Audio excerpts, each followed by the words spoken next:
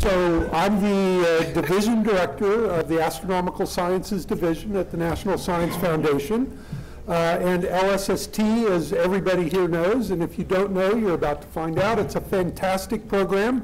It's a federal project um, that began uh, with a private donation, actually, and we will honor that private donation. But we are here today to fo- focus on the major renaming of the facility after a pioneering astronomer um, that is intimately tied to one of the key focus science areas for, for this project. And so I'm pleased, very pleased beyond how much you all know and may recognize to today officially rename the LSST Observatory as the Vera C. Rubin Observatory.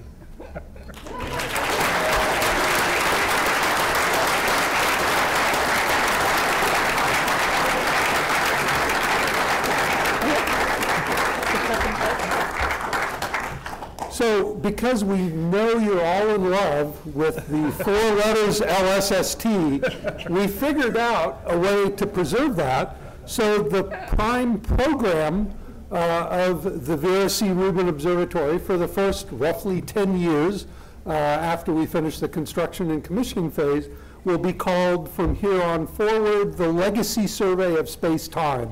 So we've preserved LSST, and as I mentioned before, there was a, a, the thing that kicked this all off was a, was a private donation that went through the LSST Corporation many, many years ago, before the federal government was involved, uh, and that was by Charles Simonyi. And so we will rename the telescope the Simonyi Survey Telescope.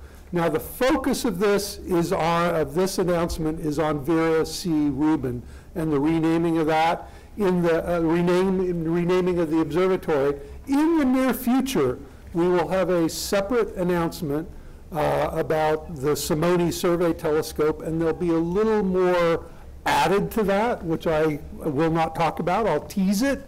Uh, but within a, few months in the near future, we'll make an announcement of, uh, re-announce the Simonyi Survey Telescope and add a little bit to that, which will be of great interest to everybody in the scientific community.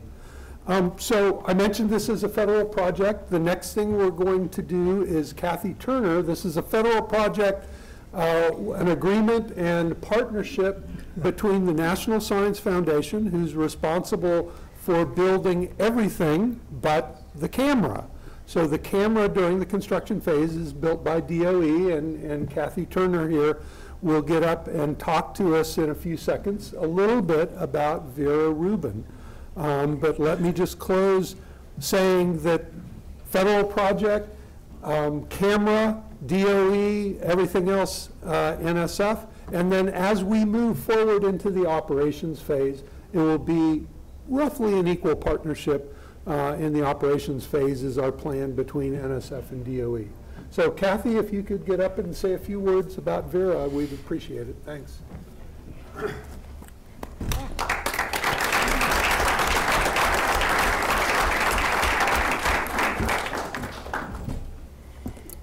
Okay, hello, everybody. Um, So as, you know, representative of DOE, um, we're honored to partner with NSF on the new Vera C. Rubin Observatory and to provide the camera to carry out the legacy survey of space and time, as Ralph just said.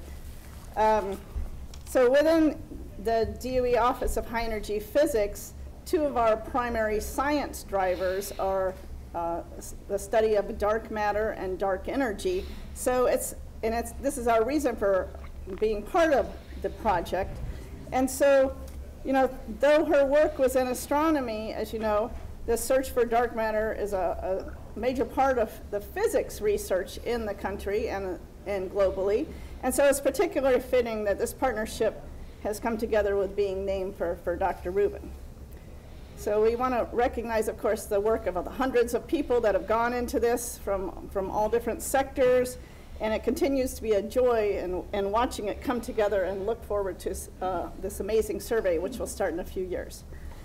But um, speaking as, especially as a woman and a physicist, I feel honored to be part of this project for, for a number of years, many years now. Uh, So I remember uh, being a college student and reading with excitement about her work and the details of uh, what led to um, really making the case that there's got to be dark matter in the universe.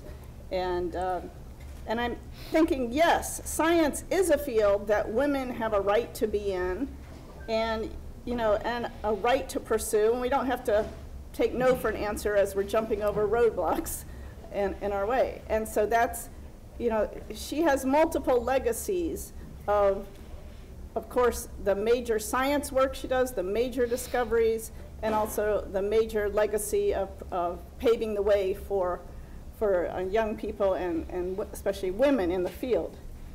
So especially her enthusiasm for the science, she was always so excited about it and uh, continued all through her life. Her dogged determination to be recognized for her work was as really something uh, that stood out to me when I read uh, more of the details about her.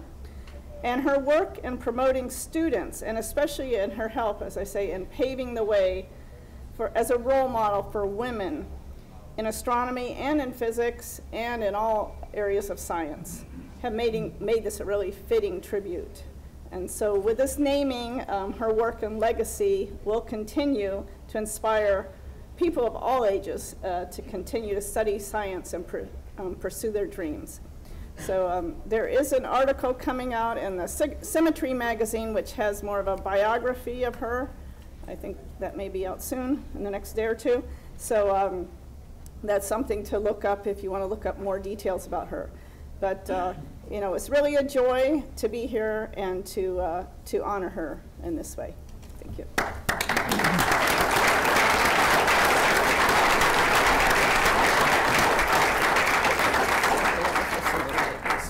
So thank you, Ralph. Thank you, Kathy. Um, it's a big moment for us, as you can see by the T-shirts we put on.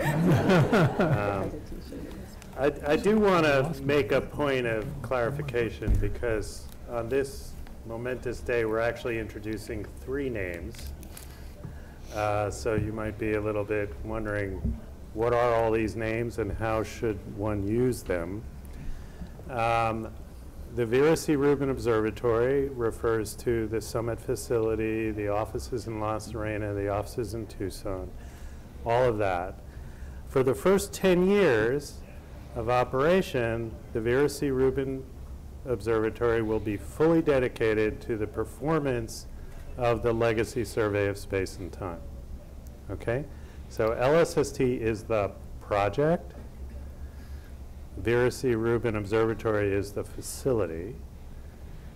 And the Department of Energy has, as Ralph mentioned, developed the LSST camera, which is the DOE contribution for the partnership in the Legacy Survey of Space and Time. Okay? So if you write a paper about LSST and you put a little footnote about what it is, then you should say the NSF Vera C. Rubin Observatory will perform the legacy survey of space and time using the LSST, uh, the DOE LSST camera and the Simonyi Survey Telescope. Everybody got that? Yeah, there's a test. You can get a second drink if you can get all that right. If you do it wrong, we're going to put an editorial in Nature. all right, so we'll all get used to this as we go along. Um, uh, you've heard uh, Kathy's eloquent comments about Vera, uh, who is truly a profound scientist and, and central to LSST science.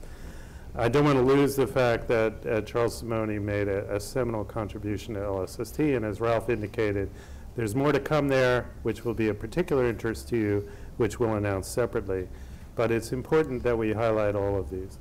And just to remind you that the actual legacy survey of space and time which is a 10-year experiment, uh, is a joint program between NSF and DOE. So both agencies are seminal to that. What happens after 10 years, we'll see. Uh, if the science remains of interest to the Department of Energy, there might be a continuation, or it might be that it becomes a, a uniquely NSF facility, but that's something we'll determine in the future. Okay? Any questions about all this? Everybody happy? Okay, great. So, that, this was a preamble to this open house session. Uh, We have some talks at this session that will apprise you of what's been happening uh, lately on LSST. So we're going to start with Victor Krabbendam, who's the project manager for LSST, and he will give you a talk on the uh, construction status. Victor?